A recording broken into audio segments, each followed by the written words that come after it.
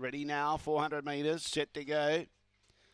Away in racing, Emily Signor from the inside began okay, but there's good challenge by City Limit Side, goes to the lead. Bashful Clouds trying to stoke up. Then we've got wider Prophetess and very wide O'Leary, but too far back to stoke up and make some ground. Is trying to, but in the meantime, there's an overtaking up front. Prophetess took off and took clear, and it's and Hose. Nut Allergy get into second placing, but Prophetess goes on to win at good odds. Second, Nut Allergy. Third was Loggy Bridge. Fourth placing, Zipping Francis. Then O'Leary. Bashful Cloud was near the tail enders. Back there behind it was City Limit Sign, who began well but didn't fire.